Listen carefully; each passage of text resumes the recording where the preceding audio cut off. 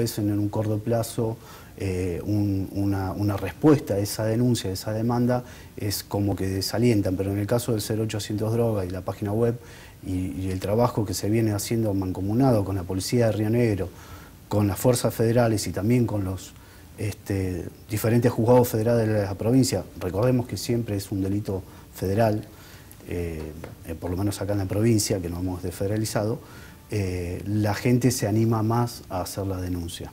Sobre todo resaltar esto que es anónima, que no es necesario dejar los datos, porque sí, seguramente más en ciudades más chicas donde la gente se conoce, es el vecino o el amigo de alguien. Es muy, muy importante el aporte que nos hacen los vecinos porque ellos a través de la eh, denuncia nos, comentan lo que pasa en su, en su localidad, en su barrio, y eso nosotros rápidamente lo, lo, transformamos en una denuncia formal que es remitida a la justicia federal para que ellos determinen cuál va a ser la fuerza, tanto provincial o federal, que va a investigar, porque después viene una segunda etapa de la denuncia que es la, parte de campo, la investigación, para constatar que esa denuncia es eh, verdadera. Entonces, a raíz de eso, el vecino hace una denuncia y pasa un tiempo considerable y, ve los resultados positivos que se vienen plasmando, que ustedes vienen reproduciendo prácticamente todas las semanas, que se hace a través de a lo largo y a lo ancho de toda la provincia. En el caso de la ciudad de General Roca, la intendente María Emilia Soria en un momento manifestó que Roca se está pareciendo a Rosario. ¿Esto es así? Gracias a Dios estamos muy lejos de serlo, pero no quita que tengamos que trabajar para evitarlo. El narcotráfico avanza a pasos agigantados en todo el mundo, no solamente en Rosario, no solamente en Argentina, no solamente en Río Negro. Eh, lo destacable es que se está haciendo algo pese a que es un delito federal. La provincia en el 2016 tomó la determinación de,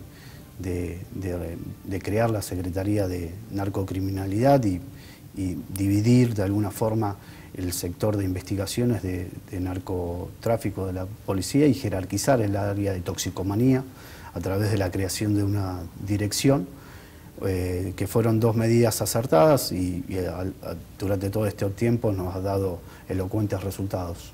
¿Y en Río Negro cuáles o cuáles son las ciudades donde más se siente? Eh, las diferentes acciones se realizan a lo largo y a lo ancho, como te decía, de toda la provincia. Eh, acciones que fueron eh, calificadas con más de un 95% de efectividad por parte de los, de los juzgados federales que realiza el trabajo que realiza la CENAC y donde la policía de Río Negro está absorbiendo un 80% de esas denuncias que se realizan a la justicia federal. Eso te denota el trabajo de calidad que realiza la policía de Río Negro eh, con su área de, de, toxicomanía y con el trabajo coordinado que hace la secretaría que estoy a cargo conjuntamente con el resto de las fuerzas, con los juzgados federales, pero también trabajamos coordinadamente con el resto de las provincias, patagónicas en este caso. Así que el trabajo es eh, un conjunto de voluntades que, hacen porque claramente un solo organismo no puede combatir a un, a un fenómeno que crece a pasos gigantados en todo el mundo y que mueve lamentablemente miles y miles de millones de dólares y que muere muchísima gente, no solamente por el consumo, también mueren personas que las fabrican, que las transportan y también que las combaten. Claro. Cuando le decía esto de las ciudades, eh, me refería a dónde está avanzando más el narcotráfico en las ciudades de la provincia de Río Negro. ¿Hay ciudades específicas? Nosotros tenemos eh, en la zona del Valle el mayor flujo de denuncias de toda la provincia pero no quiere decir directamente que esté avanzando más el narcotráfico. Son varias lecturas que se hacen de, esta, estadística, donde se refleja claramente temas geográficos, donde Río Negro es la provincia de entrada a toda la Patagonia, donde mayor efectividad tiene eh, la gente donde hace más denuncias, o sea, no, no quiere decir directamente que haya más o menos narcotraficantes en, una localidad que otra. Es un conjunto de factores que hacen a la labor que se lleva adelante positiva en combate de este flagelo y no, no directamente donde hay mm, eh, más o menos droga, por así decirlo. Lamentablemente droga hay en todos lados eh, y Río Negro no es la excepción, pero sí eh, es destacable, loable el trabajo que se, se hace para tratar de, de evitar que las drogas lleguen a, las familias, a los chicos, que son los que más sufren. Justamente le iba a consultar eso sobre el tema de los menores. ¿Cómo está afectando esto? Se abre en otras provincias, volvemos a Rosario, los soldaditos ¿no? de la droga. ¿Existe acá en la provincia? Lamentablemente sí, en todos lados. Eh, los narcotraficantes inescrupulosos saben que los menores son inimputables, que son mucho más fáciles de manejar y utilizan a los menores para, para, para comercializar, para hacer diferentes actividades dentro de sus organizaciones criminales y una bien es la que vos comentás, que es de soldadito, pero también los utilizan para hacer delivery, en otros países también los utilizan para transportar la droga, para fabricarla, o sea, es, eh, es en todos lados y en todos los eslabones de las organizaciones criminales. Es la, la forma más fácil de acceder al dinero, ¿no? A la plata. Eh, todas las personas que acceden al, mundo del narcotráfico saben cuáles son las consecuencias, pero sí, no sé si es la forma más fácil de, adquirir dinero, pero sí la más compleja y la más riesgosa. Eh, tarde o temprano esa gente de alguna forma eh, termina presa o muerta. Esto es una realidad que hay que decirlo.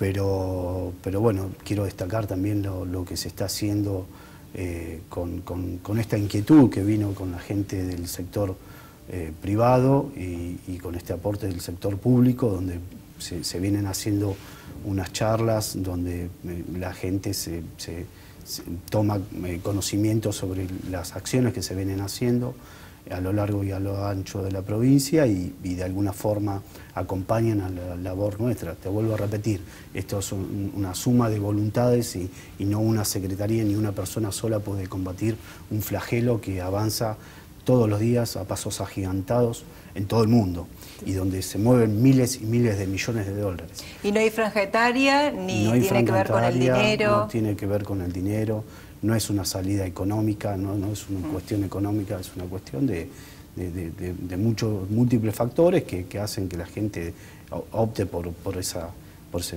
estilo de vida. Claro. Usted mencionaba la parte privada, recién eh, mm. la pública. ¿Cómo como sociedad podemos de alguna manera intervenir y, aparte de las denuncias, ¿no? al 0800, ¿hay alguna mm. manera? Nosotros siempre miramos eh, la situación cuando nos desborda, cuando ya hay que llegar a hacer un allanamiento a través de una denuncia, vemos cuando lamentablemente un joven muere eh, por sobredosis de drogas, pero no miramos y no decimos que eh, la familia dónde está. A, eso, a eso me refería justamente. acá todos los, toda la suma de valores, todo lo que vamos a hacer va a ser algo este, algo que, pueda frenar de alguna forma el flagelo, pero si no miramos, eh, y en todos los aspectos, no volvemos a las raíces, que es la familia, que es la base de toda esta sociedad, no hay mucho más por hacer de lo que se está haciendo. La familia, la escuela también me interviene mucho en estas ocasiones. Este, y en este caso, bueno, y alentar a la gente a que denuncie, que denuncie lo que está pasando en su, en su barrio, en su cuadra, que es el, generalmente son delitos de narcomenudeo, que es el, delito que de alguna forma molesta al vecino, porque la motito llega todos los fines de semana, porque ve que el de la esquina no trabaja nunca y, avanza, con, cambia su auto, hace, arregla su casa y el tipo tiene que salir todos los días a trabajar y no llega a fin de mes. Es, el narcomenudeo es eh, la principal eh, fractura que tiene toda la sociedad. Eh, y entonces nosotros ahí eh, recibimos esa denuncia y trabajamos combatirlo. Por último, ¿cuál es la droga que más se comercializa en la provincia de Río Negro? No hay una droga, depende de la zona, depende de múltiples factores, depende la zona de Alto Valle por, por su mm, geográficamente ser lindera, donde una zona petrolera como puede ser eh, Neuquén tiene otro poder adquisitivo, entonces por ahí se comercializa un poco más de cocaína, pero generalmente en toda la provincia se, se encuentra más marihuana que otros estupefacientes. No quiere decir que no haya drogas de diseño, que no haya este, pastillas, que no haya otras drogas, pero lo que mayor, se, mayor cantidad decomisamos es marihuana.